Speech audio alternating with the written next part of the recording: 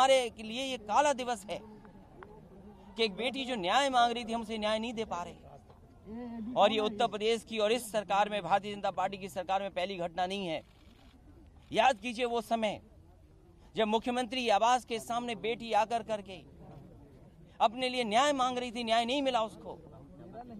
उसे आत्मदाह करने की कोशिश करनी पड़ी। तब जाकर के एफआईआर लिखी गई। और याद करिए वो घटना जब बाराबंकी की बेटी यहीं पर आई थी मुख्यमंत्री आवास में। उसने भी आत्मदाह किया और बाद में उसकी जान नहीं बची। उन्नाव की बेटी उसने एक ने तो पूरा परिवार खो दिया। कौन दोषी था? भारतीय जनता पार्टी की सरकार दोषी थी। और ये भी बेटी जिसकी जान गई है आज उसके भी दोषी कोई है तो सरकार।